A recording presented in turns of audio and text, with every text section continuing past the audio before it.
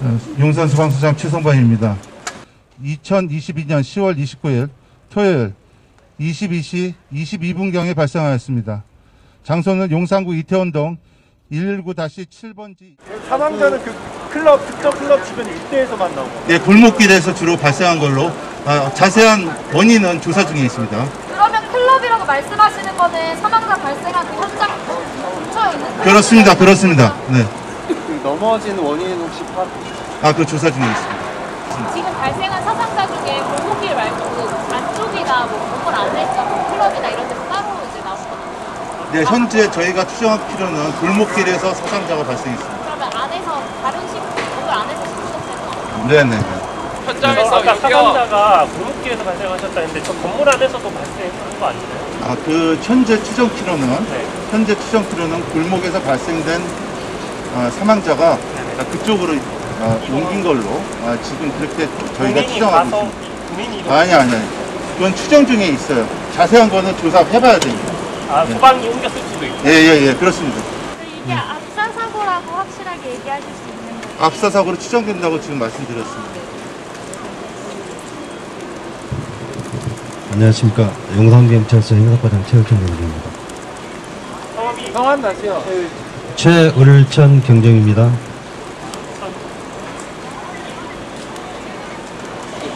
질문 받으시면 브리핑 해주시는 건 없나요 따로? 네 브리핑은 없습니다. 혹시 마약 관련해서 뭐 신고가 있었나요 현장에서? 확인된 바 없습니다.